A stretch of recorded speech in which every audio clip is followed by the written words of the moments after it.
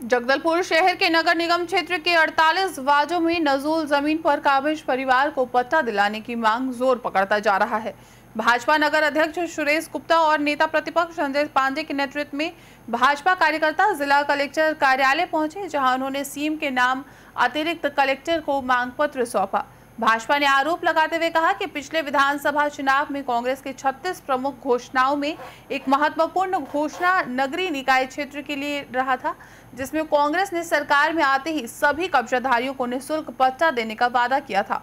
लेकिन सरकार में आने के बाद भी स्थानीय विधायक रेखचंद जैन ने कभी भी नगर निगम के 48 वार्ड के अंतर्गत नजूल में निवास करने वाले परिवारों और उन्नीस सौ चौरासी में बांचे गए पट्टाधारकों की सूद नहीं ली।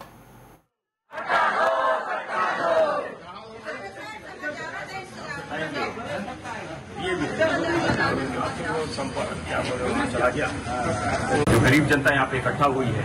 ये वो जनता है जिनसे वोट तो ले लिया गया, परंतु वोट के नाम पर जो पट्टा देने का वादा इस शासन ने अपने घोषणा पत्र में किया था कि हम सभी लोगों को पट्टा देंगे।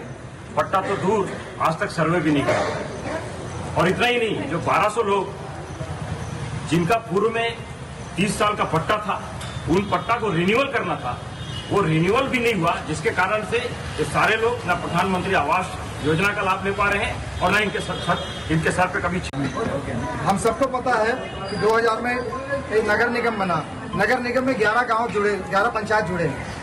ये तो सीट की बात हो रही है जहाँ पे 1200 पट्टे जो इनके आम रिकॉर्ड हैं 1400 कुछ पट्टे बट्टे थे जिसमें 1200 का नवीनीकरण नहीं हो पाया। ये सरकार की ज़िम्मेदारी है इनके घोषणा पत्र में था। इसके साथ साथ ग्यारह पंचायत जो नगर निगम का हिस्सा बने, न वो सीट में है, आज भी वो खसरे नंबर पे हैं। यदि हम उनको काउंट करें तो ये संख्या